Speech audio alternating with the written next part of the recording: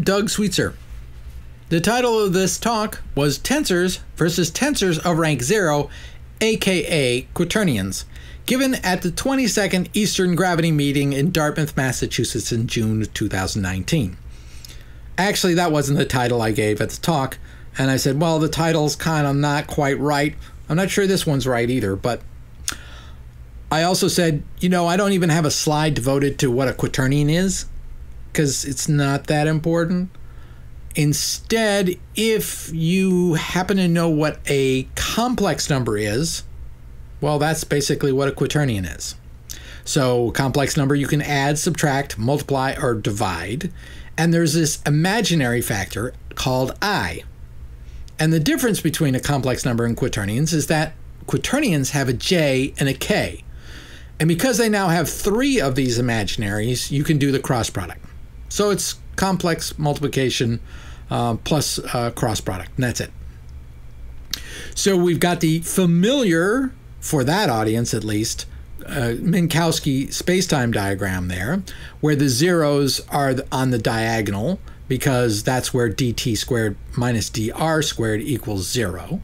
And we have the hyperboles there that show uh, the Lorentz symmetry of Minkowski spacetime. And then we have this green graph, which I don't think like anybody is familiar with. It's just that one, the other one rotated by 45 degrees. And as a matter of fact, that's kind of the only way I thought about it until this presentation forced me to say, yeah, no, what's really going on there? And I think this is energy and momentum space. The affine space, which means it's got changes in time only and changes in space only. So if the change in time factor is zero, well, that's like having energy zero. So there's no energy involved in this system. And in that case, it'll be things that happen will all be on the horizontal line.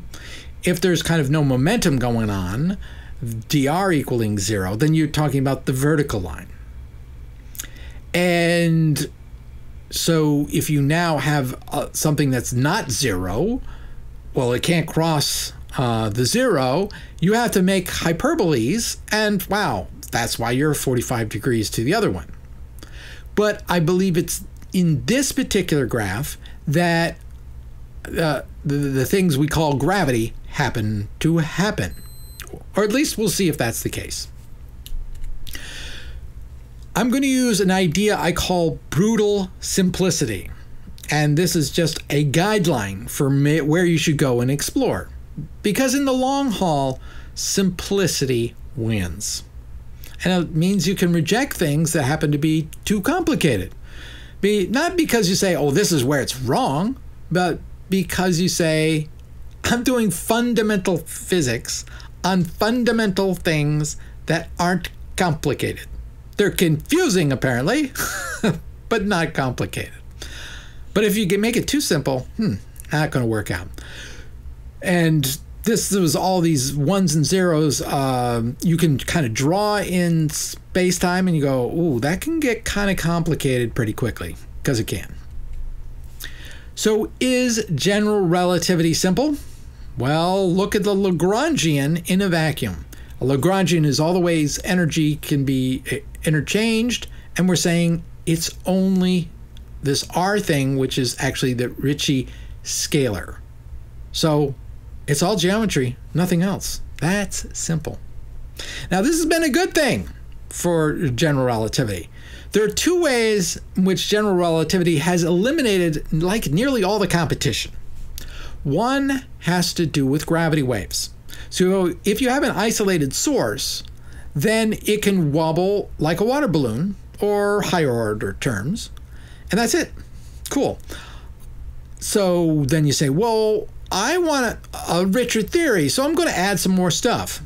Well, it's almost as if you add anything to that, then you will have a dipole moment. And it's like, well, so? Problem is experimentalists.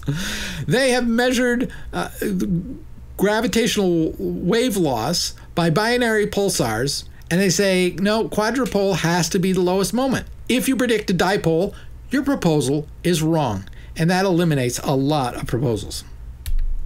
Another issue, though, is that gravity bends light, you know, and light has no rest mass. You know, it's like the uncharged sort of thing. And so if you say, hold it, you know, Newton's law of gravity is so similar to Coulomb's law, I'm just going to do a variant. You can. And as a matter of fact, it's a good thing to do it's uh, because it allows you to do calculations that would be like impossible to do any other way. Uh, there's this thing called Gravity Probe B that you know only by using doing this sort of trick were you able to do the calculation because GR is just too darn hard. But that glosses over the deep differences between EM and uh, our approach to gravity. This cancellation isn't like casual Einstein was the first to realize it's central to describing what gravity is about. The way I like to phrase it now is that gravity is about this symmetry. Stop. That's the whole thing. You have to find a symmetry that explains this situation. Okay. Now let me ask the question again. is general relativity simple? Well, you've got the Ricci scalar. That's a contraction of the Ricci tensor. That's a contraction of the Riemann curvature tensor, which is not simple because that's the difference between derivatives of the Christoffel symbol of the second kind and the difference of two different products of Christoffel symbols, where a Christoffel symbol is a contraction of three different um, derivatives, so that you have second order derivatives of metric tensors that transforms like a tensor, which it has to for Einstein's general relativity to work out. But that's not a simple thing, like at all. Um, another issue nonlinearity. Well, logically, it's absolutely necessary because a gravity field would gravitate it would be a source of energy, and sources of energy are, is what gets um, the field uh, space time to bend. But how about physically? Okay, linear to me means like you're off by yourself, you don't care about anybody else. Now, EM is wonderful, it's a linear theory, and it's 42 orders of magnitude stronger than gravity. That linear theory, 42 orders of magnitude, and now that, so the weak guy is now nonlinear physically. Remember, we're not just mathematics kind of people, we're mathematical physicists. And physically, I don't think that sounds reasonable. Hmm. And now we got the big problem general relativity. Does it play nicely with the rest of physics? Well, I wrote Einstein field equations and the Klein Gordon equation because it was kind of a simpler one a whole bunch of different uh, quantum mechanics equations I could have written there. But we can actually quantize uh, uh, the Einstein field equation. It's kind of a machinery sort of thing. It can be done. The problem is that once you're done, you say, and now let me do an actual calculation. That's where the problem comes in. And people have been working on that. Well, Einstein spent his entire uh, second half of his life on it and certainly Feynman gave it a, a try, and a bunch of other people, lots that weren't very famous. Nobody got it to work out. Hmm. So, what have we been doing recently? Well, over the last 30 years, we've been going from like a four indices to 11, just like spinal tap. It's like, oh my goodness. Imagine taking, uh, taking that equation um, the Klein-Gordon equation going up to 11. That's got to be insane. Oh, and then when you then you have to compactify it. Um, and I think for brutal simplicity, we're not going to say where it's wrong. We're just saying it's too complicated. Look, those two equations in four dimensions are hard, and you're going to bring it uh, at least one of them up to 11. Uh, no, thank you. So hold it. What else can we do? Ah. It'd be simpler if we didn't have any of those Greek letters there. And you say, yeah, but doesn't that break everything? uh, well, it does kind of say you can't use the Einstein field equations. Realize I'm giving this talk to the uh, 22nd Eastern Gravity meeting. Uh, I'm losing 90% of the audience right then and there. Uh, and the other 10%, they're using their phone. So, and uh, can you get Klein Gordon out if you remove the indices? I mean, I don't know how to do that. It just looks too radical. But uh, what I would argue is, hmm, no, it's it's more subtle than you might in- initially think. Uh, it's really an information rearrangement, not any kind of destruction of information. So, if we think about what dif- differential geometry would do if you gave it to four vectors, what it does is it says, oh, there's 16 possibilities, and I'll put my metric tensor guys values uh, for each and every one of them in here, and there it is. Now, when you use these quaternions, you get the, exactly the same 16 guys out there. It's just that they're grouped in sets of four. See, differential geometry says, give me four and another four, and I'll give you one back. Whereas with no- number theory, what happens is you start with two sets of four and you get back a set of four. So it's an uh, automorphism. And nobody says, hey, look at this, the similarities between differential geometry and quaternions. So let's apply this rule, these rules of combining four sets of symbols together uh, to try and regenerate the Klein Gordon equation. And the odd thing that happens is that you get three more equations. Uh, so less is more. so we do get the Klein Gordon equation as required. Um, but we also get these mixed derivative terms. And I think that's a good thing because we want to tell a complete story, a full story. And if you just take, you know, two time derivatives and two space derivatives, you're just left with, well, why don't you take a time and space derivative together? Well, that happens with quaternions. And here's a bit of speculation I have uh, about quantum field theory. So, what is that in a broad picture? Well, what you do is you start with a field equation and then you invert that equation.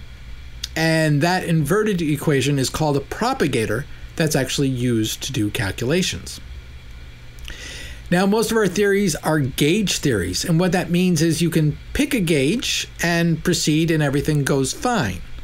But until you pick that gauge, then it's actually possible that you that the, the thing can be like wiped out and you say, How do I invert a zero? And you go, You can't. and uh, so it's kind of fundamentally broken. But as I say, we're used to dealing with that. It'd be nice if we didn't have to. And by having these three different equations out here, it's, it's my speculation that maybe that problem will just go away, which would be rather remarkable if there was any truth in it. And of course, this pattern is going to continue. In other words, if you have the Schrodinger equation, you're going to have three other equations. If you do the Dirac equation, you're going to have three mixed derivative kind of equations. All right, so now we're going to turn our uh, eyes back to gravity, and we're going to think about the symmetries of squaring things. And we're going to do this in two separate, distinct geometric spaces. There's Minkowski spacetime. That's where things are when. And then there is this energy momentum space. How much energy and momentum do those things you located in Minkowski spacetime have? So, if you think about a ball in motion, okay, you got to know where it is and when it is at that location, along with how fast is it going? Does it have a lot of energy? Does it have a lot of zip? When you do that and say, what are the zeros? Well, in Minkowski spacetime, the zeros is the light cone, and therefore the lines in there are all these hyperboles. In the affine space, you have the I ain't got no energy and I ain't got no momentum zeros, and therefore you have all these uh, sorts of hyperboles. Now, that t squared minus r squared is is a real valued number. If it's positive, then it's the yellow region. If it's negative, then it's the purple region. For the space time, as for the energy momentum graph, that's an imaginary value. And the product of dt and dr, if it's um, positive, it's the light green. If it's negative, then it's um, it's the dark green. It's just no more complicated than that. So the way I look at this pair of diagrams is that to do both classical physics and quantum mechanics, you need both spaces. You need to know where it is, what you're studying. You need to know what kind of energy and momentum it is that you're looking at. And both of those necessarily have these symmetries. The, the one in Minkowski spacetime is known as the Lorentz group. That means there are three ways you can boost it. There are three ways you can rotate it. And the Poincare symmetry is those symmetries plus translational symmetry. That means you can move it uh, from here to there and the, the equations stay the same. That happens in this uh, affine space, the dt and dr, because if you say, hey, hey, R, R's over here, let's make it over here, and you go, yeah, and I, I don't see that when I do the dr, I subtract it away.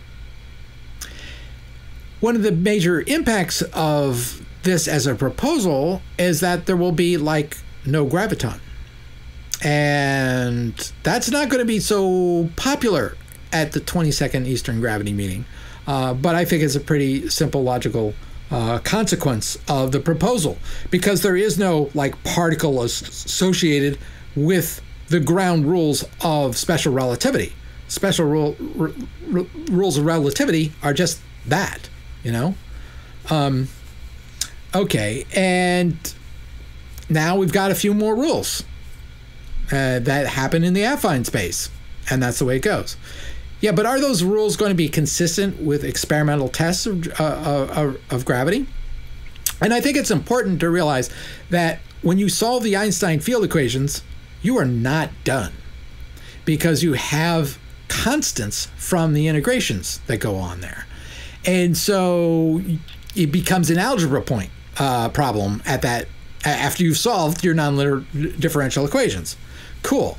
All right. Now the, what are the constraints that are used in in special in, in general relativity? You know, once to, to solve it, and it's like, well, they're exactly the same that I'm going to go over here.